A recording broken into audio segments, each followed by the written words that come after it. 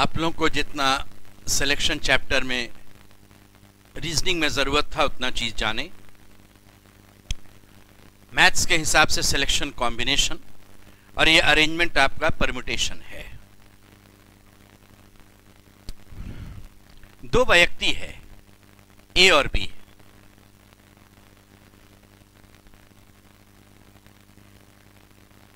दो कुर्सियाँ हैं और इन लोगों को बैठाना है इस पर। ए अगर इधर की कुर्सी पर बैठेगा तो बी यहाँ, या ए अगर दाहिने बैठेगा तो बी बाया। दो कंडीशन बनता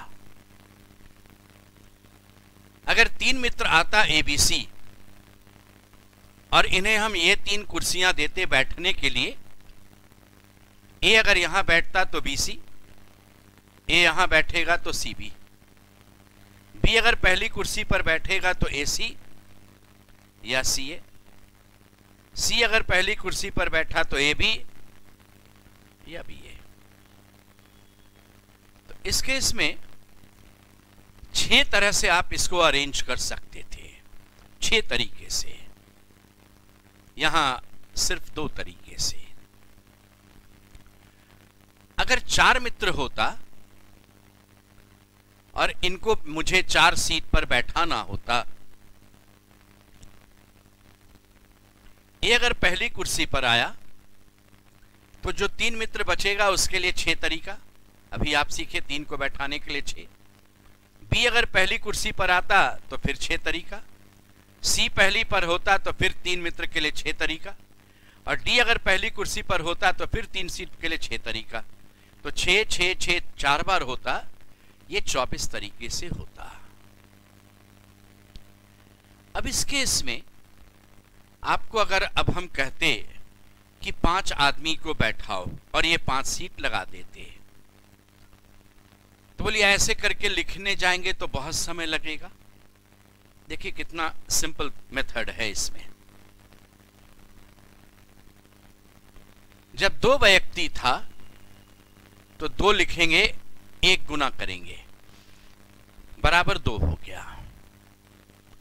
जब तीन है तो तीन लिखा और एक एक तक लगातार गुना कर दिया। ये छह हो गया। जब चार है तो चार लिखे, ये तीन आया, फिर दो आया और फिर एक। चार लिखकर लगातार एक तक गुना किया। चार तिया बारह, दोना चौबीस, ये हो गया। अब सोचिए, जब पाँच होता तो पाँच, गुना चार, गुना तीन, गुना दो, गुना एक। पाँच चौके बीस दिया साठ, दुना एक सौ बीस। ये एक सौ बीस तरीके से आप बैठाते हैं। किसी नंबर को लिखकर लगातार उसे एक तक गुना करते हैं, उस चीज़ को फैक्टोरियल कहते हैं। जैसे ये कहलाएगा फैक्टोरियल फाइव। इसे आप या तो ऐसे या इस तरह से लिख सकते हैं। इस ढंग से लिख सकते हैं। जैसे ये था आपका फैक्टोरियल थ्री तीन गुना दो गुना एक बराबर छ ऐसे लिखा था। ये आपका था फैक्टोरियल फोर चार गुना तीन गुना दो गुना एक। ये चौबीस। इस तरह से था। क्यों हम लोग करते हैं ऐसा काम? देख लीजिए एक रीजन क्यों ऐसा कर लेते हैं? सोचिए, पाँच सीट है। इस सीट के लिए आपका ए बी सी डी ई पाँचों में से कोई भी एलिजिबल है। ये कहलाता फाइव सी वन पाँच में कोई एक आ जाओ। मान लीजिए यहाँ सी बैठ गया। ठीक है सी बैठ गया यहाँ। तो इस सीट के लिए चार बचेगा। फोर सी वन मान लो यहाँ ई बैठ गया। तो इस सीट के लिए तीन बचेगा। थ्री सी वन ए यहाँ बैठ गया, यहाँ दो ही बच गया। मान लो बी यहाँ बैठ गया, सिर्फ़ डी बच गया। तो हर एक सीट पर हम एक एक आदमी को चुनते गए, और जिस समय चुनने के लिए आए, उस समय टोटल कितना था? तो पाँच, यहाँ टोटल चार। आप ये सिलेक्शन में सीख चुके और जब तक हम सारा सिलेक्शन करेंगे नहीं, मेरा इवेंट पूरा होगा नहीं। बोले फाइव सी वन का रिज़ल्ट पाँच, ये चार, ये तीन ये दो और ये एक। यही तो है फैक्टोरियल फाइव तो ये आपका बेसिक चीज़ है पहला, कि हम लोग इस तरह से किसी चीज़ को अगर अरेंज करना चाहें तो ऐसे करते हुए हम अरेंज कर सकते हैं। लिख लीजिएगा। ऐसे ही छोटा छोटा कुछ कॉन्सेप्ट है। ये पहला कॉन्सेप्ट था। ऐसे ही कुछ छोटा छोटा कॉन्सेप्ट है, जो अरेंजमेंट में आपको सीखना है, जानना है।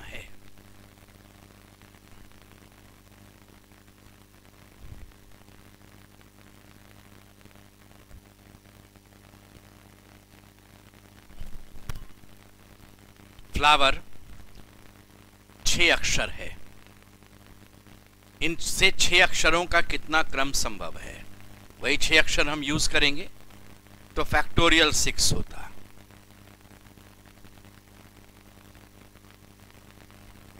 छ पाँच, चार, तीन, दो, एक, ये सात सौ बीस होता। ये क्वेश्चन वन का आंसर था। क्वेश्चन टू देखिए। एक दुकानदार छह भिन्न प्रकार का वस्तु बेचता है और प्रत्येक दिन वह सभी छह वस्तुओं का नया क्रम बनाता है। किस दिन का क्रम नया नहीं होगा? सोचिए, अगर छह वस्तुओं का क्रम बनाएगा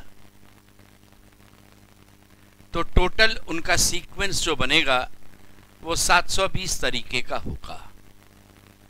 यानी वो 720 नया नया क्रम बना सकता था। लेकिन 721वें दिन।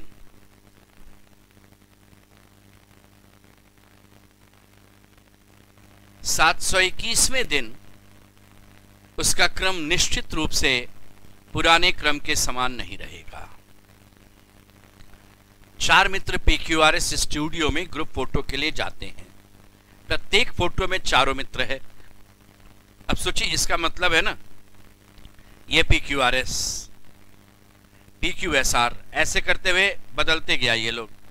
P R S Q S R P Q ऐसे सीक्वेंस बदलते चला गया। प्रत्येक फ़ोटो में चारों मित्र उपस्थित हैं, परंतु उनका क्रम समान नहीं है। यदि एक फ़ोटो के लिए बीस रुपया लगता है तो अधिक से अधिक कितना रुपया फोटोग्राफर उनसे ले सकता है?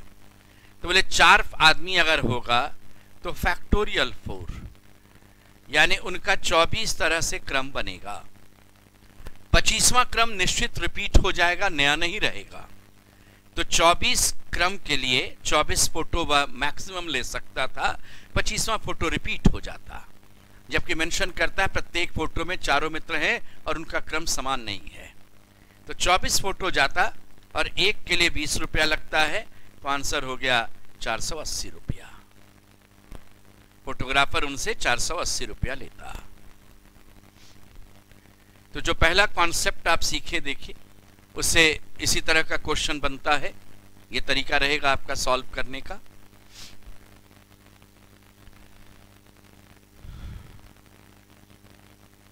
करेंगे अब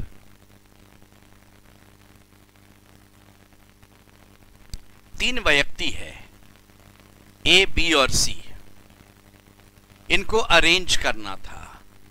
अभी आप सीखे छह तरह से आप अरेंज कर सकते थे। अभी आप जस्ट सीखे, छह तरह से आप उनको, उनका क्रम तैयार कर सकते थे।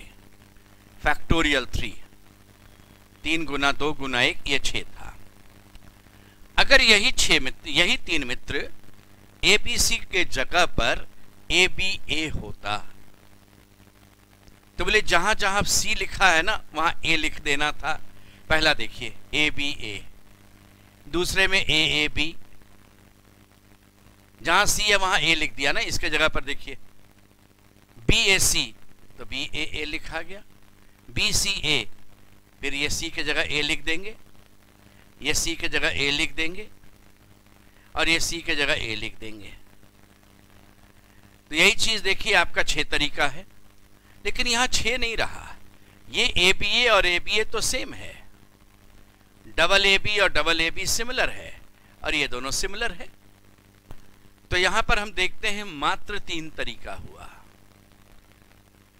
कारण था कि ए यहाँ पर रिपीटेड है। ऐसे केस में, जब हमने ए बी, ए को अरेंज करने की बात की तो तीन चीज़ का अरेंजमेंट फैक्टोरियल थ्री, ये तीन है ना, फैक्टोरियल थ्री। लेकिन वैरायटी आपके पास दो ही है, ध्यान दीजिएगा, ये तो यही वैरायटी है। Divided by factorial two variety आपके पास जितना रहेगा, उतना वैसे नहीं चलना है, देखिए। वैरायटी के बेसिस पर चलेंगे ना तो फिर और दूसरे वाले में दिक्कत होगी, कैसे करेंगे काम, वो देखिएगा। क्यों ऐसा करते हैं? ए का फ्रीक्वेंसी दो बार, जबकि बी का फ्रीक्वेंसी एक ही बार है। तो जिसकी जितनी फ्रीक्वेंसी होती है ना उतना फैक्टोरियल यूज़ करते हैं हम। उतना फैक्टोरियल यूज़ करते हैं। तो फैक्टोरियल थ्री का वैल्यू छ हो गया। फैक्टोरियल टू का वैल्यू दो गुना एक। ये रहा आंसर तीन तरीके से होता है। अगर मान लीजिए आपको अरेंज इनको करना था। ऐसे। एक, दो, तीन, चार, पाँच छ सात, आठ, नौ। ये फैक्टोरियल नाइन पी का यूज़ है तीन, एक, चार बार है। तो फैक्टोरियल फोर पी के लिए। क्यू का यूज़ तीन बार है। फैक्टोरियल थ्री क्यू के लिए। आर का यूज़ दो बार है, देखिए। इंटू फैक्टोरियल टू आर के लिए। अब इसको सॉल्व करने में जो समय लगता, आपका आंसर हो गया। नौ आठ सात छ पाँच चार तीन दो एक। ये फैक्टोरियल फैक्टोरियल नाइन है। ये चार तीन दो एक, तीन दो एक और ये दो और एक। तो चार तीन दो एक आपका यहाँ से कैंसिल कर दीजिए। तीन दुना छ कैंसिल कर दीजिए। ये दो चार बार गया, ये ले जाइए। गुना कर दीजिए। नौ गुना सात तिरसठ और पाँच चौके बीस। तिरसठ गुना दो, एक सौ छब्बीस। बीस था, एक ज़ीरो बैठा दिया। तो नौ गुना चार गुना सात गुना पाँच, ये आपका हो गया। सात पच्चे पैंतीस गुना चार, एक सौ चालीस गुना नौ बारह सौ साठ। तो जिसकी फ्रीक्वेंसी जितनी बार हो, उतना नीचे में फैक्टोरियल होता है। एक बात और पहले देख लीजिए। देखिए, वास्तव में होता क्या है बतलाएँ? जब मुझे पाँच चीज़ को अरेंज करना था तो फैक्टोरियल फाइव ए की फ्रीक्वेंसी एक बी की भी एक सी की भी एक डी की भी एक और ई e की भी एक। सबकी फ्रीक्वेंसी सिंगल है यहाँ पर। अब सोचिए फैक्टोरियल वन का वैल्यू वन होगा। पाँच बार वन भी गुना करेंगे तो वन ही आएगा। और किसी नंबर को वन से डिवाइड करेंगे तो नंबर वही रह जाएगा। इस कारण से हम लोग ये वाला काम नहीं करते हैं। लेकिन वहीं पर जब फ्रीक्वेंसी बढ़ जाती है, तीन बार आ गया, चार बार आ गया, दो बार हो गया तो फ्रीक्वेंसी बढ़ने पर हम उसे यूज़ करेंगे। जिसकी फ्रीक्वेंसी जितनी बार, उतना से ऐसे डिवाइड होगा। ये आपका सेकंड कॉन्सेप्ट है। लिख लीजिए, फिर इस पर क्वेश्चन देखते हैं।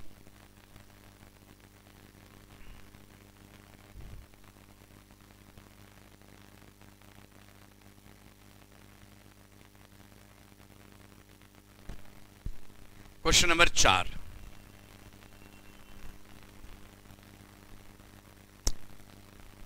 एक, दो, तीन, चार, पाँच छ फैक्टोरियल सिक्स पी का यूज़ एक ही बार है। ओ का यूज़ दो बार है। बी का यूज़ एक ही बार है। ओ का यूज़ दो बार है। और टी का यूज़ भी दो बार है। फैक्टोरियल सिक्स सात सौ बीस। दो गुना दो। चार, एक सौ अस्सी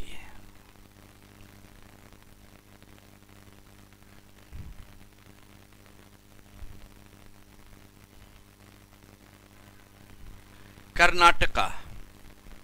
एक, दो, तीन, चार, पाँच छ सात, आठ, नौ। फैक्टोरियल नाइन के दो बार है। एक, दो, तीन, चार बार ए है। आर एन टी सिंगल है, ये नहीं यूज़ करेंगे। फैक्टोरियल नाइन हो गया, नौ, आठ, सात छ पाँच, चार, तीन, दो, एक। डिवाइडेड बाय फैक्टोरियल टू और ये चार, तीन, दो, एक। चार, तीन, दो, एक से कैंसिल करो। और ये दो से तीन बार जाएगा। पाँच गुना तीन, पंद्रह गुना सात। 105 और गुना बहत्तर। सेवन फाइव सिक्स ज़ीरो पचहत्तर सौ साठ। गणित की तीन पुस्तकें हैं और इतिहास की तीन समान पुस्तकें हैं। इनको सजाने का कितना क्रम संभव होता? ये तीन और ये तीन है तो फैक्टोरियल सिक्स सात सौ बीस छ गुना छ छत्तीस, ये बीस।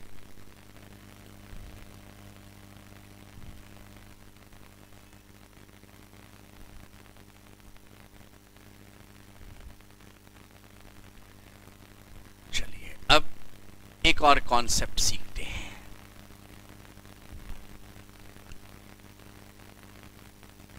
आदमी पाँच सीट भी पाँच। तो फैक्टोरियल फाइव 120 तरीके से। ये आप जान चुके।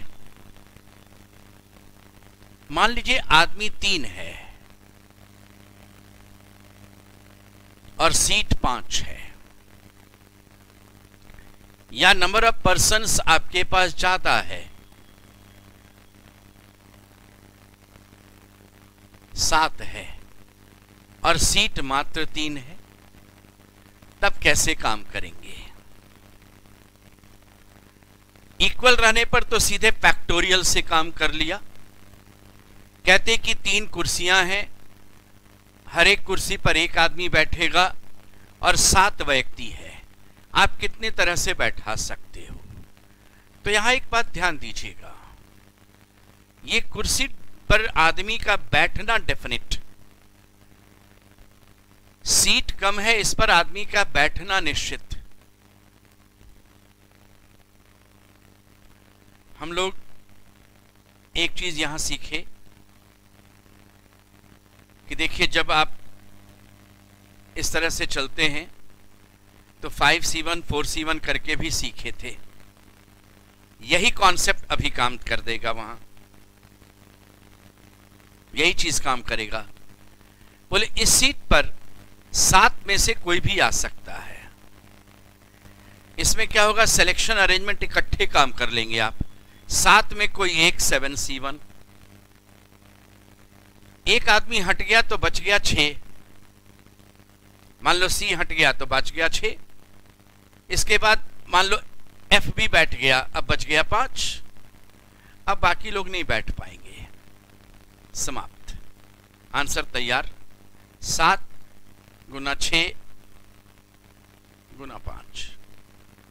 यानी अगर सात व्यक्ति हो और तीन ही सीट है, कितने प्रकार से आप उन्हें उन तीन सीट में बैठा सकते थे? तो आंसर होता 210 तरीके से। जो चीज़ कम होगा, वो सेलेक्ट करता है। यहाँ सीट चुनेगा आदमी को। आदमी नहीं चुनेगा सीट को। जैसे आज के डेट में क्या है? सीट कम है, वैकेंसी कम है कैंडिडेट्स ज़्यादा हैं। तो जब आपका ज्वाइनिंग लेटर आता है तो लिखा रहता है you have been selected for the post of यानी पोस्ट आपको चुनता है। आप इस पद पर चयनित होते हैं। यानी पद ने आपको चयन किया है। आपने नहीं चुना है पद को। इसलिए जो जो चीज़ कम होगा, वो सेलेक्ट करेगा। यहाँ पर व्यक्ति कम है। सीट पाँच है, आदमी तीन है। यानी हर एक को सीट मिलना ही मिलना है। तो उस केस में आपका तीन है। अब सोचिए, सीट तो आपके पास पाँच है। अब ए आराम से आएगा, कहेगा, एक सीट मेरे लिए पाँचों खाली है। तो पाँच में से कोई एक सीट रख लेगा। उसे ये सीट अच्छा लगा। बी की बारी होगी, चार सीट बच गया।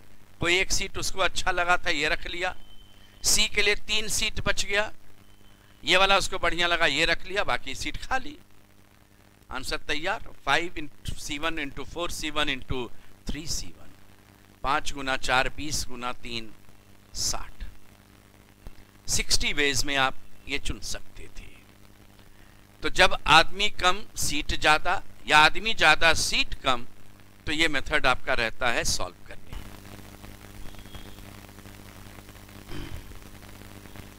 सोचिए, आपके क्वेश्चन में रीजनिंग में इसी तरह से कहानी बनाकर आएगा।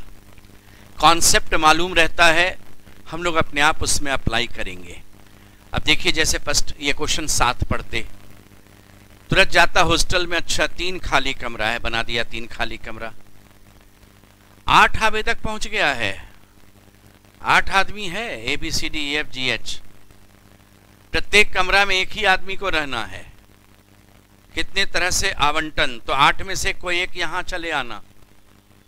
सात बचोगे, इसमें से एक यहाँ आ जाना। छह बच जाओगे, इसमें से एक यहाँ आ जाना। हो गया, बाकी पाँच चले जाओ, नहीं मिला तुमको। नेक्स्ट टाइम आप ट्राई करना। आठ गुना सात गुना छ आठ गुना सात गुना छ तीन सौ छत्तीस। बन गया क्वेश्चन वन सात नंबर तैयार?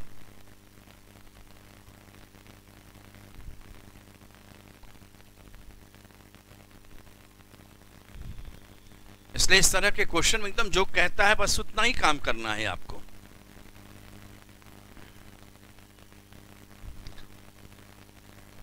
क्वेश्चन नंबर आठ देखिए। होटल के तीन कमरों में, चलिए होटल का पहला कमरा, दूसरा कमरा, तीसरा कमरा। नौ बिस्तर है थ्री इंटू थ्री मतलब तीन इसमें तीन इसमें तीन इसमें। ये थ्री इंटू थ्री हो गया। तीन यात्री एबीसी को एक एक बिस्तर देना है। किसी भी कमरा में एक से अधिक यात्री नहीं रहेगा। चलो, पहला यात्री जो भी रहा एबीसी जिसको मन है। मान लो इसको मन कर गया, पहला यात्री, इसको मन है जाने का। देख लो जाकर तुम। तुमको जो अच्छा लगे ले लेना। उसके लिए नौ बिस्तर है, तीन तीन, छह, तीन, नौ, नाइन, सी, वन। ये नौ में से एक चुन लिया। उसे ये वाला बिस्तर बढ़िया लगा था, चुन लिया ये। ये लेगा वो। अब जब दूसरे यात्री की बारी आई तो उसके लिए आठ बिस्तर नहीं बचा। उसके लिए मात्र छह बिस्तर बचा। कारण है, किसी भी कमरा में एक से अधिक यात्री नहीं है। इसमें सी चला गया तो बाकी अब ये खाली जाएगा। दो यात्री हो जाएगा, नहीं तो। तो बी के लिए तीन यहाँ तीन यहाँ। उससे ये वाला बिस्तर अच्छा लगा। तो ये भी मना हो गया, देखिए, तीन तीन, छह सिक्स सी वन एक के लिए तीन ही बिस्तर बच गया, जो उसको अच्छा लगे। ये तीन में से जो चुन लो तुम थ्री सी वन तो कितने प्रकार से उन्हें बिस्तर प्राप्त होगा? तो three into six into nine तीन गुना छ अठारह अठारह गुना नौ, एक सौ बासठ। ये आंसर वन सिक्सटी टू अठारह गुना नौ, एक सौ बासठ।